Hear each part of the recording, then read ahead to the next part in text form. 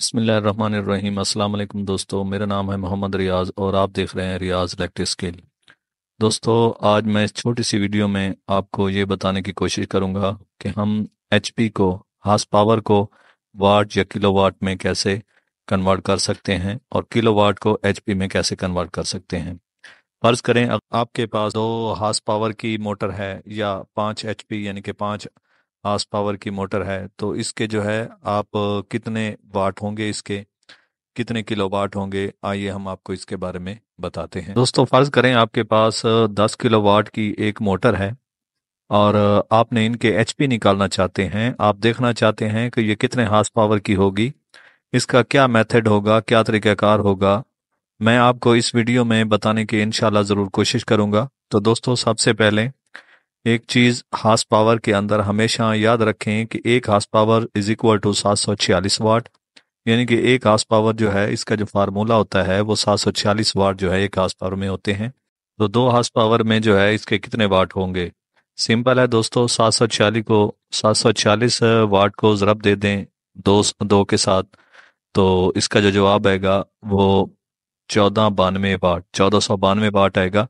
और अगर आप इसको हज़ार से डिवाइड कर देते हैं, यानी कि किलो में कन्वर्ट करते हैं तो फिर आपके पास किलो वाट आ जाएँगे, जो कि 1.4 किलो वाट यानी कि एक दो हार्स पावर की मोटर जो है, वो तकरीबन चौदह सौ बानवे वाट की होगी। इसी तरह अगर एक पाँच हार्स पावर की मोटर है, यानी कि पाँच एच को किलोवाट में कन्वर्ट करना है तो इसका तरीका ये होगा कि आप पाँच को सात सौ छियालीस से मल्टीप्लाई कर दें। ज़रब दे दें तो ये आंसर आएगा आपके पास सैंतीस सौ तीस, three seven three zero watt. और अगर आप इसको हज़ार से डाइवर्ट करते हैं तो फिर आपके पास जो है आंसर आएगा three point seven three zero kilowatt तो पता चला दोस्तों कि जब हम हार्स पावर को किलो वाट में कन्वर्ट करते हैं तो जितने हार्स पावर की वैल्यू होती है, इसको हमने सिंपल सात सौ छियालीस से ज़रब दे देनी है।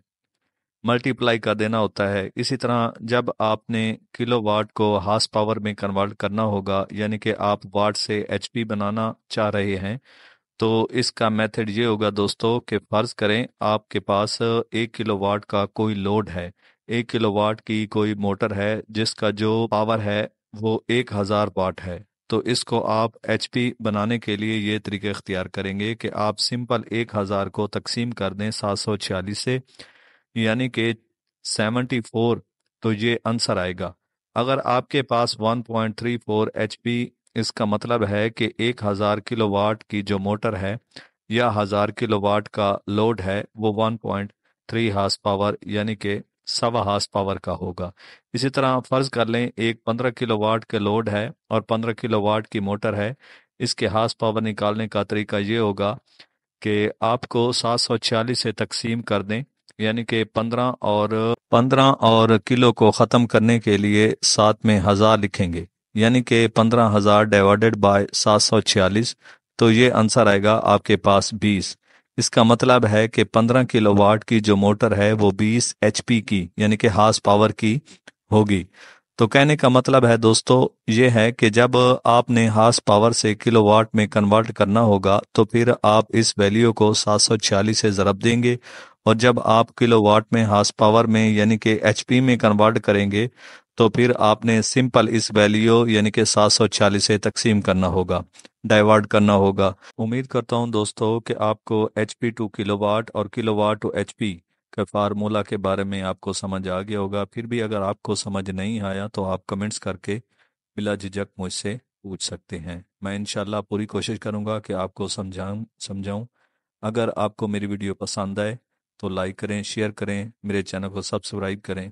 और बेल आइकन को ज़रूर दबाएँ। इंशाल्लाह मिलते हैं नेक्स्ट वीडियो में। तब के लिए इजाज़त दें। अल्लाह हाफिज़।